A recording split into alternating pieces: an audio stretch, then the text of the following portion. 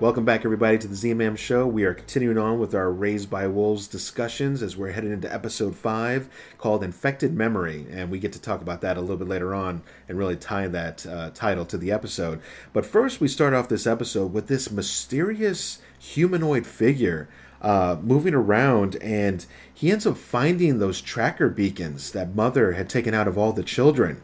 And uh, he takes them and he's going to use them later in the episode to lure the Mithraics. And I don't want to get into that just yet because there's kind of a flow to this, but it was a very quick kind of like, who now who's this guy or gal or whatever so marcus he's deemed the new eminence and he's loving his new powers as uh as he's leading his people along the way and he gets to he gets backed quickly by lucius now remember lucius is one of the warrior mithraics where that marcus uh, he executed his father during one of the battles which I think we again we find out a little bit more information on this later on, but all the same, he quickly backs uh, Marcus and says, you know, this man is a direct has a direct line to Sol. We should be following him. And you can tell that the clerics, uh, the other side ones, the one that are more the the prayers and kind of the rule keepers, I guess, they're not having it.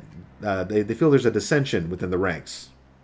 Well, and like you said, it um, there was actually another cleric in the group who was a higher ranking member, and the reason Marcus got chosen to be the new eminence over her is be- only because of the direct connection with Sol and not because of anything else. So they're already going off the beaten path a little bit, trying to, you know. But I think, like I think, like you said, Lucius really connects with Marcus, and I think that that helps sell it because Lucius, in spite of being a traitor's son, is very devout. Yeah, so yep. I think that's a big that's a big move. So now they're hunting now they're looking for the kids. Exactly what Marcus and Sue wanted them to do. Yes, he has the power. They're now searching for the kids. And on their journey, they manage to find another portion, a huge portion, of the Ark ship. And inside of this ship, there's a couple interesting things they find. One is a piece of science tech, uh, some kind of propulsion um, light catcher or whatever like that. Where basically, you can kind of basically fry mother's processor if they're able to get it close enough to her uh, if it's so they decide to take this thing with them. But furthermore they also find the second in command cleric that had his way with all the women the one that was supposed to be executed the son of a gun managed to live through crash and all. Power of Sol? I sure hope not. And um, and so they decide to bring this guy with them and marcus is able to quickly uh, rationalize this by saying who here wants to take on that necromancer face to face? And they're all like, uh, no. And then he's like, well, then don't you think it's a good idea that we have him here so now he can be the one to do the work? Interestingly enough, I mean, he's got this big metal bucket on his head, yes. and he's got this android with him who's kind of like his warden. Yep. And if he gets more than, I think, 10 feet away from the, the warden, the bucket will crush his head. Yes, sir. So part of the reason that other people are willing to agree with it is if he becomes a danger to anyone – they can pretty easily kill him off. But like you said, he's I mean he's he's raped several women on the uh, on the ark. So um, like Sue in particular, as much as much as several of the other women are very uncomfortable having him around, and understandably so. Understandably so. Um, back on the other camp, where we're at Mother and Father, uh, Mother and Father continue to kind of argue and uh, kind of drift apart a bit because you know, father got drawn away by Tally the one night. You know, why wasn't he there when, you know, the creature attacked? I mean, all these different things. And mother blames father for a lot of stuff, and he gets a lot more crap than probably what he deserves. Um, but she gets a dose of this herself uh, tonight when she is drawn by a vision of, or vision or whatever, something of Tally moving around the forested area. And she tries to follow her, but even with flying, she can never keep up with this Tally vision or whatever it is. And uh, I think she manages to make it all the way back to the VR sim and decides to go ahead and hook in and see if more answers can be found. And within, tonight's episode was really wonderful and had some very touching scenes, Adam, because you had a chance to actually see what was going on back on Earth when her creator, Campion Sturgis, finally captured her by using some kind of electronic pulse type thing that totally fried her.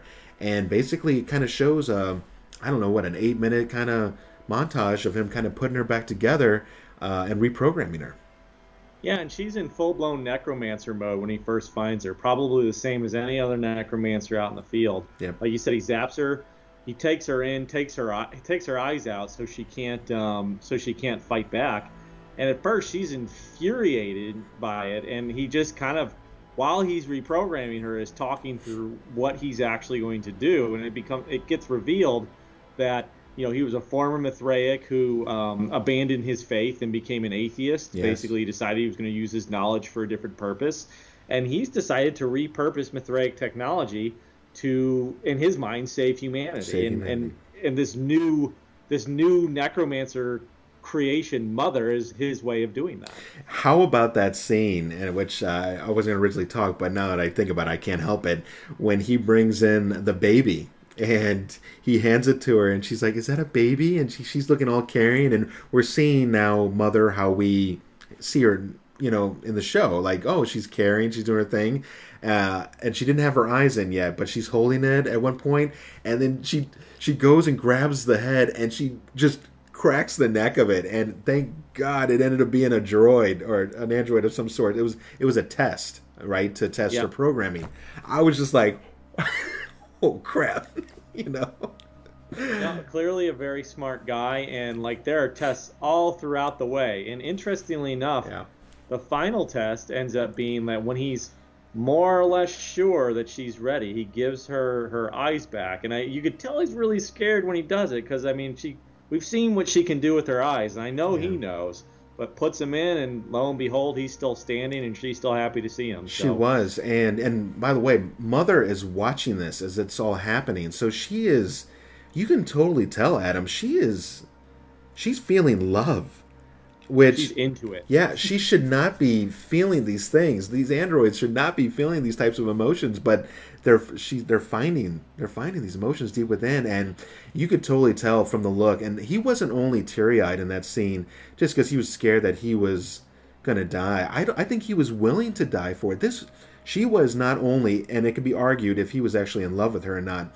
But I mean, it was a labor of love, of complete love, and he just i just i think he was just amazed at everything that she had become and in some ways i don't think he wanted to let her go either that's in my opinion but i don't know Yeah, no, I think I think you've touched on two really good points. Like it was his finished creation, and you gotta you gotta figure, and somewhere in the back of his mind, this is probably he's viewing this person as like the savior of all humanity. So, Yeah. well, our guess android. So I guess it makes sense that once this android finally comes to pass, why wouldn't he fall for it? It's Yeah. his vision. It's what he wanted. yep and he even uh, kisses her i think before they finally part ways and uh, and they send her on but anyways very touching scene it was awesome it was great to see that flashback they gave us that good meaty backstory that i think a lot of us have been waiting for and it feels about right um, maybe, Yeah. maybe maybe we could have gotten a little earlier but i mean with everything that's been going on i almost didn't even notice Well, and I think there, there's so much information that gets presented to you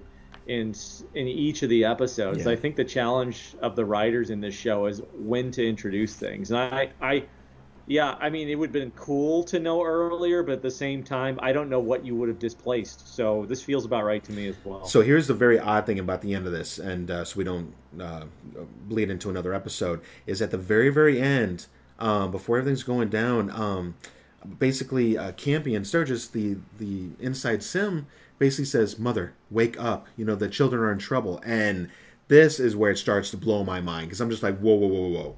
How is this sim aware that something is happening outside of the sim in the real world?" You know, it just things are blurring lines like crazy and i love it i just but it's so also confusing at the same time and i'm just like what is happening and uh, uh, mother ends up booking uh, butt out of there super quick to get back to find that tempest has tried to kill herself but luckily they catch her in time she had swallowed some bad things and they were able to put something in her to make her throw it all up but yeah how weird is that adam Well, at this point, this is the point where I start thinking, okay, there's something else on this planet. I mean, you've already seen the hallucinations.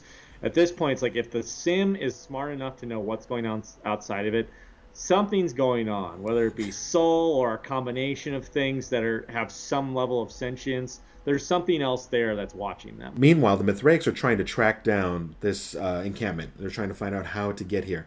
And so they follow the beacons and they end up making it to this canyonous uh, area, uh, cavernous area, excuse me. And they basically find the loca- locator beacons inside the caverns, but it's also booby trapped. So I'm like, okay, whoa, whoa, whoa. This is actually intelligent thought. Someone had to set these things up. And then, really, Adam, they're also kind of primitive, too. Right. Well, and it and it's funny because they do kind of push through it and they eventually figure they eventually find their way through the booby traps and what they eventually find is that they find the creature that took the trackers and that creature leads them to basically this like kind of primitive map drawn with rocks and Yeah. sand Yeah. And they're able to look at that map and see where the kids are even though they don't have the trackers in them anymore Totally. which which is pretty crazy It is crazy, and uh, and Marcus, since he's already seen some more of the landscape, since he was one of the first um arriving parties down onto the planet of Kepler 22b, he's he's definitely on board. And uh, ultimately, by the end of the episode, they find the settlement, and they're they're starting just their very earliest of phases to try to figure out what's going on with the kids and and if they're in true danger or not. yeah and and and, and initially like it's funny because the initial shot they see of the children doesn't suggest danger but i think the big thing is marcus and sue really want paul back They do, they do. and i think that's driving them more than anything else Absolutely. So, very solid episode. I was loving the backstory tonight. That was one of my biggest pieces I think I enjoyed in the episode. What about you, Adam? Any big pieces you love the most? Um, I liked that. I also really liked the scene where they followed the clo- the kind of the cloth guy, the guy dressed in cloth to the uh, to the the map he had drawn in the ground. I thought that that was also really interesting. Very exciting, very mysterious. And this show is all about mystery. And I think we're going to continue that on as we move in uh, to episode six. So, yeah, so thanks again for joining in tonight, guys. I uh, hope you enjoyed the content, some of the little flashbacks I was doing with some of the video in between our talks on it all. Uh, make sure to comment if you're enjoying the series or if you've kind of given up on it and maybe why. Or if you are enjoying it, what are some of your thoughts? What do you think that all these visions and is Sol real or is it something else? Uh, you know, just in the background that we can't see just yet, uh, something else on the planet, even just messing with the people. Let us know what you think. Uh, make sure to like and subscribe if you are enjoying, of course, and we'll basically catch you guys at the next review.